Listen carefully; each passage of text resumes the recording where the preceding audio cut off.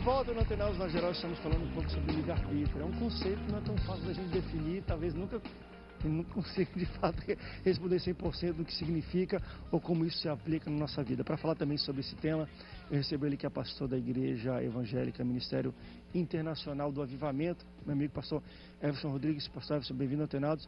E já vou te jogar batata quente. Eita, Muitas pessoas obrigado, têm cara. esse entendimento. Deus, quando me criou, já sabia tudo que eu ia fazer, todas as minhas escolhas, e até se eu vou para o céu ou para o inferno mas isso necessariamente não quer dizer que foi ele que fez as escolhas por mim, mesmo sabendo quais seriam as minhas escolhas é um mistério meio complicado, né? É, falar sobre a presciência de Deus, né, é, é complicado para nós seres humanos, né? É como eu estava vendo vocês falando no, no, intervalo, como que Deus cria, né, com um propósito já definido e, e ao mesmo tempo Ele nos dá o direito de escolher, né? Mas eu acredito assim, é, quando se fala em âmbito de livre arbítrio, né, aí é, predestinação, livre arbítrio, eu acredito que o livre-arbítrio está dentro exatamente da vontade do homem, né? Porque nós fomos criados, nós, nós somos é, seres autônomos, nós temos vontades.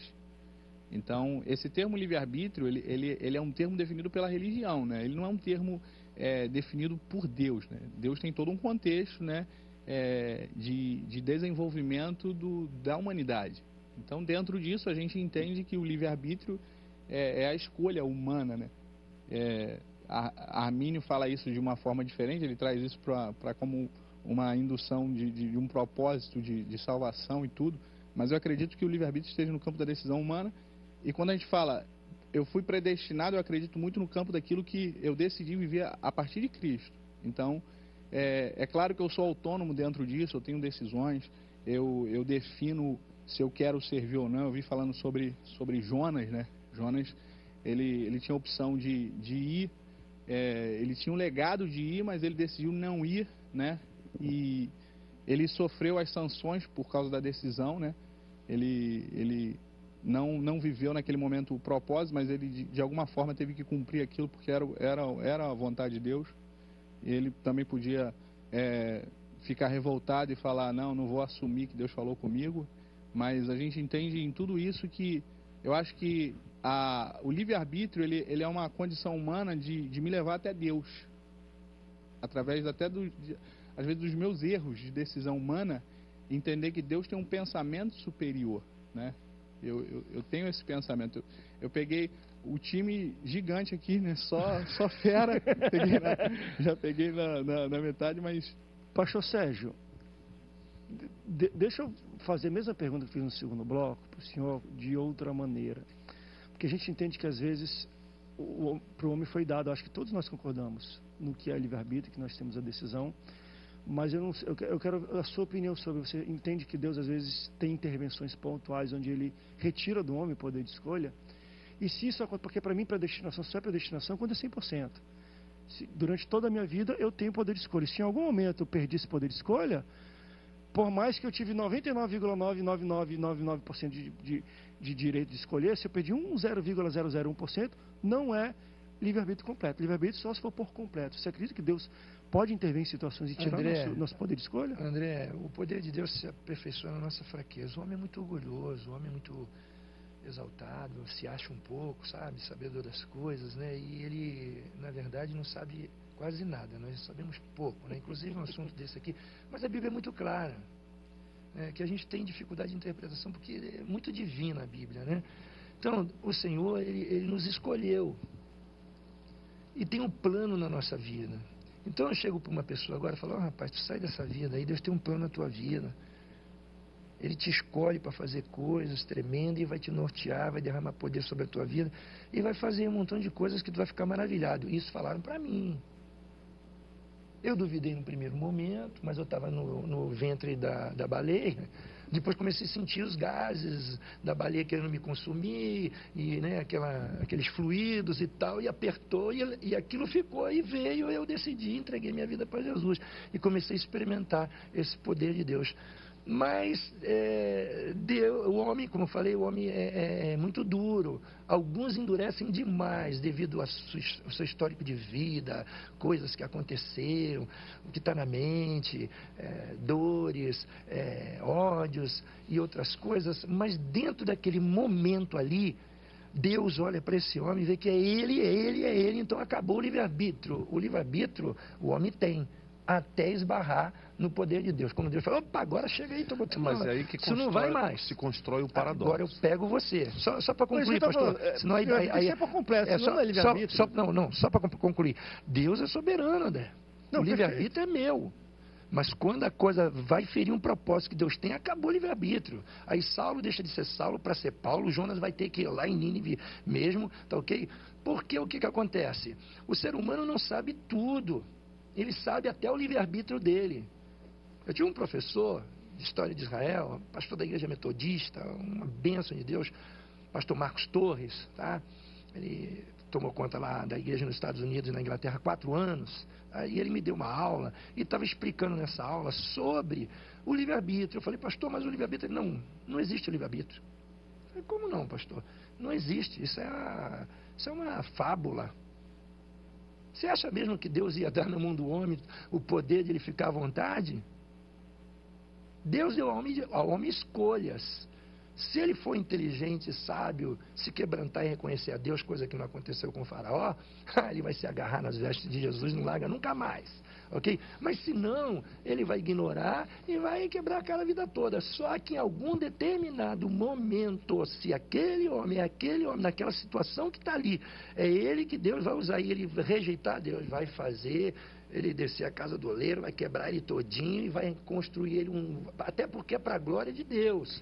Isso não é para todo mundo. Aí, aí, aí, aí a seleção. Aí, não, não, não, não. Predileção, São- além não, de não, não. predestinação, São né? momentos, Prediletos. Escuta só, é, são momentos que não Mas- tem tu, André, vai tu mesmo. Mas, eu, por por isso que eu, tô É falando, eu gente consigo ver isso na Bíblia de alguma de Deus. de algum mo- Eu Eu consigo ver isso de tenho- algum modo eu tenho medo é que a gente, na tentativa vã de explicar a mente divina, Não. a gente Atribua tropeça. pensamentos que não são E dele. todas as vezes que nós, mortais, meros, tentamos explicar paradoxos, a gente esvazia Deus. Porque Deus não pode ser explicado. Eu vou dar um exemplo simples, na questão dessas coisas que acontecem que a gente não entende, e muitas vezes a gente quer ficar explicando que era para ser, que não tinha para ser, que Deus que decidiu, que não sei o quê, que foi a escolha, que não foi a escolha. Eu tenho, eu passo por dois momentos na igreja e são momentos singulares de, de, de- com crianças pequenas. Uma vai para o hospital com, uma, com um diagnóstico de meningite bacteriana grave, dois meses de idade e com possibilidade de sequelas gravíssimas. E a gente ora por aquela, por aquela criança e ela volta, está em casa sem nenhuma sequela e sem nenhum sintoma de que teve um dia meningite. Nenhum tipo. Do outro lado, eu tenho a mãe, nove meses, que aguardou o menino, acalentou sonhos, crente em Jesus, fiel e firme no Senhor, mas na hora do parto, a criança morre. Aí eu vou ficar, eu vou explicar isso pela teologia, pela, pela, pelo predestino, pela, pela livre escolha. A Bíblia não me manda fazer nada disso. A Bíblia só me manda fazer o seguinte: me alegrar com quem se alegra de verdade, sem sentir inveja pelo que Deus está fazendo de bom na vida dela. E chorar com quem chora, tendo a compaixão e os mesmos sentimentos daquele que está chorando. O meu medo das discussões teológicas nesses pontos, ele, ele reside exatamente nisso. O paradoxo, ele existe e ele é incontestável, mas ele não pode ser explicado porque nós não temos a capacidade de entender a mente infinita e eterna. Então a gente vai patinar de alguma forma em algumas questões e a gente vai tentar explicar, até que a gente vai, pá, aí acontece o negócio e, gente, e agora? Agora não tem explicação. Então é melhor a gente lembrar, como disse o pastor, quem somos nós?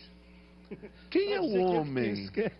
Bom, é, é, Jó vai fazer essa roubo de tentativa de confrontar Deus, essas coisas todas. Deus fala assim: onde você estava Quando, quando eu plantei as constelações? Quem é você para me dar conselho? Então, essa- essas coisas são muito. A, a- a gente está no terceiro, é o terceiro bloco esse já, gente. Está correndo muito esse programa, muito rápido. Por quê? A gente tem dois minutos para terminar esse terceiro, a gente já vai para o último. Olha como o tempo voa. Mas eu acho que a gente chegou a um ponto muito interessante, mas eu gostaria de ouvir os pastores ainda, mas eu quero começar a direcionar esse nosso debate para o último bloco, para uma resolução que, para mim, aí sim é mais preocupante. de fato, esse é um tema que nunca vai se extinguir. Patinamos durante três blocos, praticamente, Sempre cada um explicando. debates. Mas, é, e, não, e sempre é necessário ter. Não, para mim sempre é necessário, mas para mim é o seguinte: qual, qual é o ponto importante dele? É agora.